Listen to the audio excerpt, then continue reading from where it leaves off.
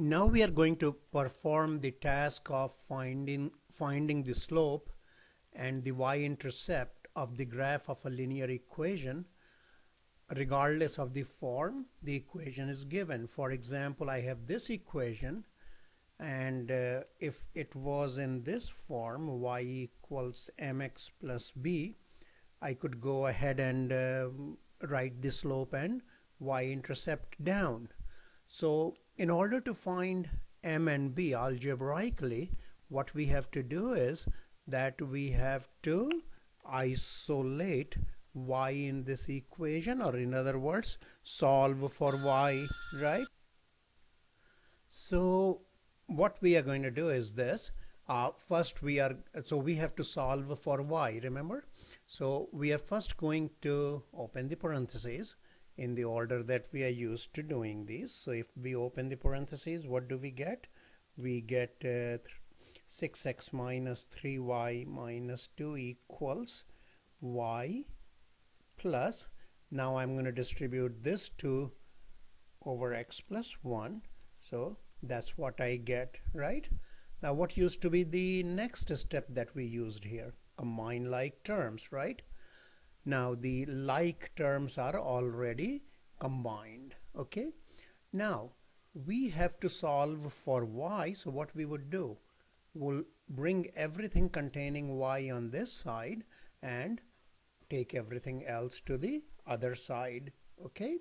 So so let's bring y to this side.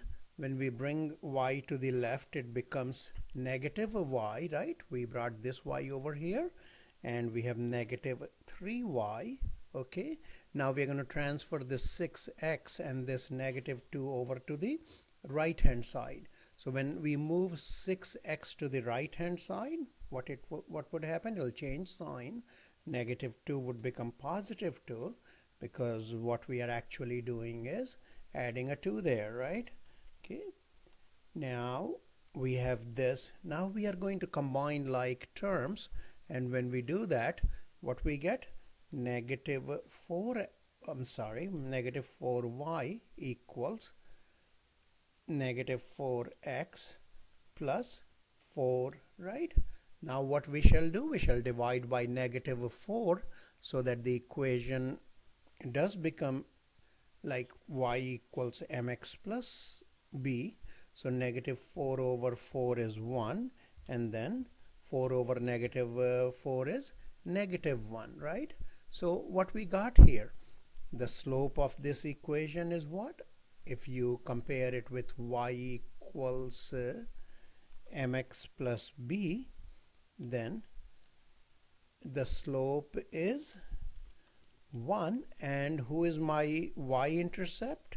My y-intercept is 0 negative 1 right? And then we are going to go towards the graphing by hand part okay? So okay. Now we are going to see how to graph this line using this information. So we know y-intercept is given. Who is my y-intercept? My y-intercept is 0 negative 1 so I can start there. And then after that since I know that the slope is 1 so what would I use? If I go to the right by one unit then how much would I rise by? I would rise by one unit because the slope is 1 okay? And now I can uh, just connect these two okay? Points and here is my line. You could have gone in like earlier manner as well that is find the coordinates of two points using the equation and connect those two by using a ruler. Either way you get the same answer okay